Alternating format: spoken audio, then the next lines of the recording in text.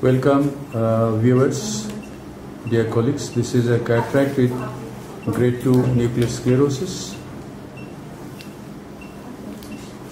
Let us watch this surgery.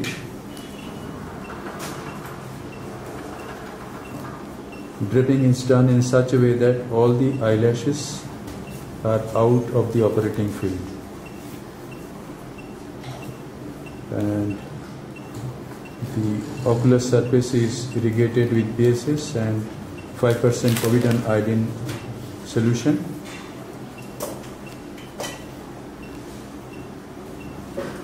The eyeball has been, the surface has been prepared in the preparation room with application of povidone iodine for 3 minutes. And this is just a running wash. And now we are going to start the surgery. Microscope is Topcon OMS800 and machine is Faros from Oertli. This is the main incision with a 2.8 millimeter steel keratome diagonal. Three clock hours away. This is a side port. This is about 1.5 at this moment. If we need, we'll enlarge it later on. Now to demonstrate the rhexis, I'm going to stain the anterior capsule.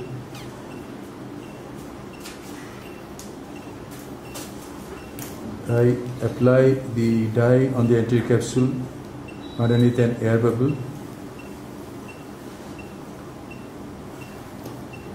When we use air bubble, the staining is very quick we need not wait for a minute. Just after 15 seconds we can wash out the dye.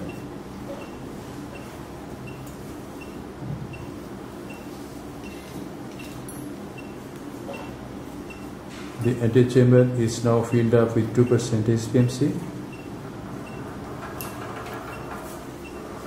the eyeball is supported by this cotton tipped Johnson bar.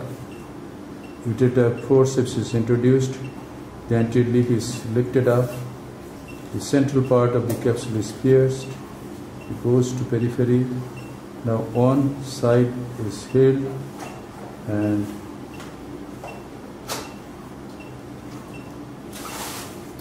is guided anti-clockwise all around.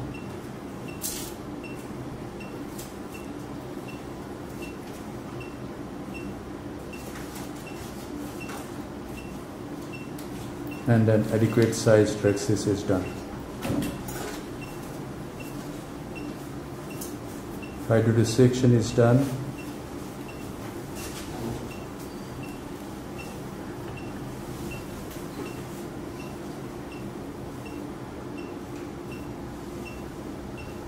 This is a soft cataract. In this case, I am going to demonstrate the stop and chop technique.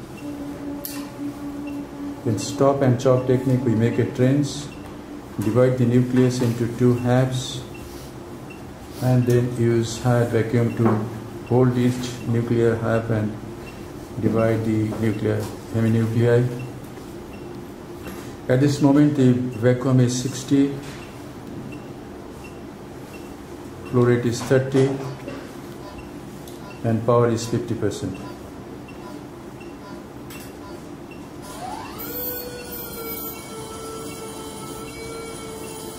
Some superficial cortical lens matter is removed. The handpiece is turned to make the bevel up. And now the ultrasonic energy is used to make the trench. We have to use the energy only when we go forward.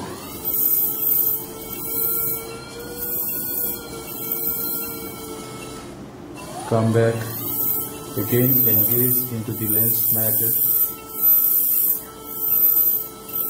and make the trench.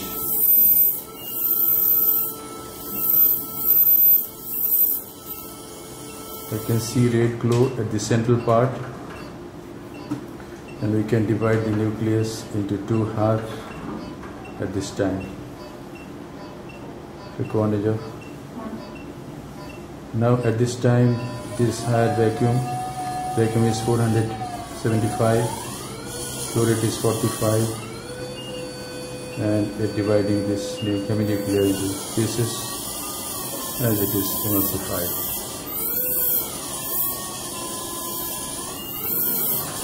The other piece is emulsified.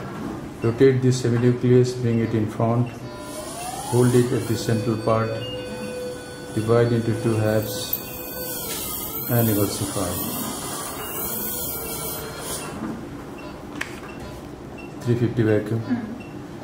Trying to remove the epinucleus with lower vacuum, 350 vacuum.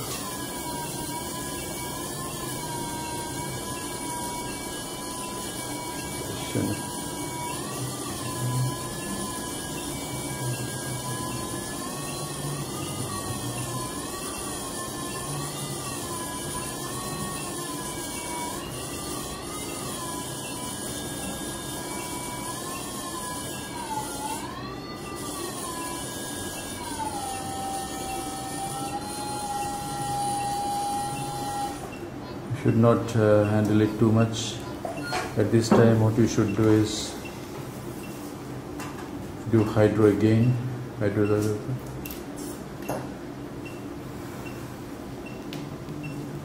and see if it gets separated from the capsule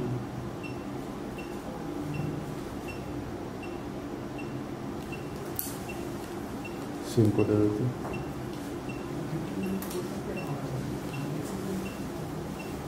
hold it with Simco and pull centrally.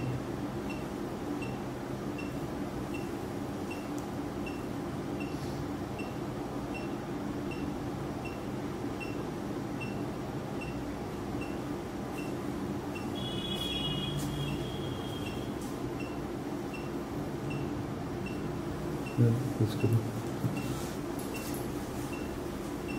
Handpiece to the already.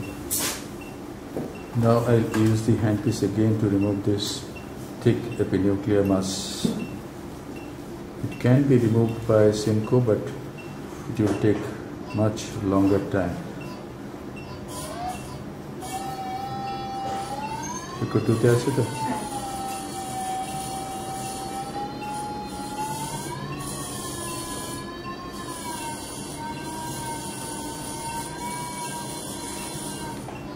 that, terminal.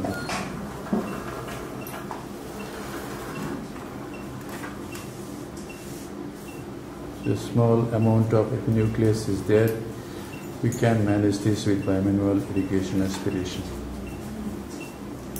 We have only one side port, so the main wound is used for irrigation. It goes and lifts the anterior wall and the antechamber depth is maintained.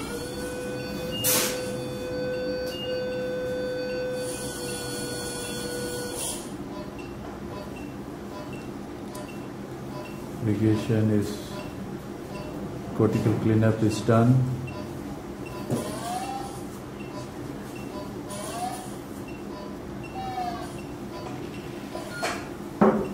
Killers.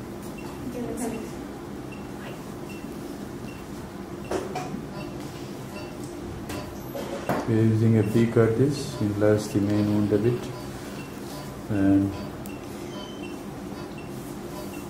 implant the intraocular lens in the capsular bag. This is Superfold, Galaxy Fold from Appasamy Associates.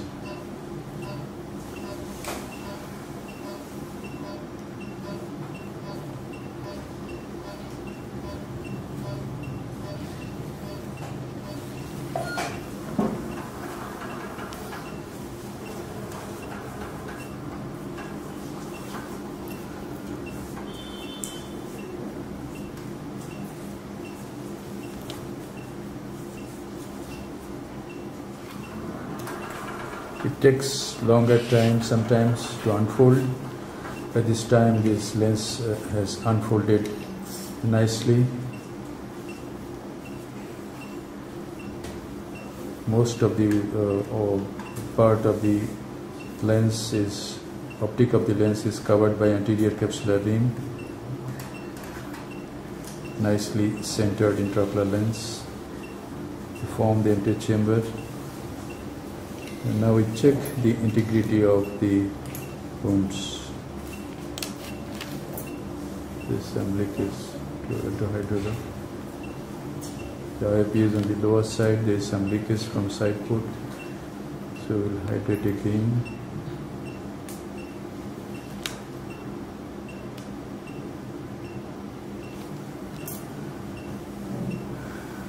And we make another irrigation aspiration to leave clean BSS in the anterior chamber form the anterior chamber nicely and check the integrity of the wounds again.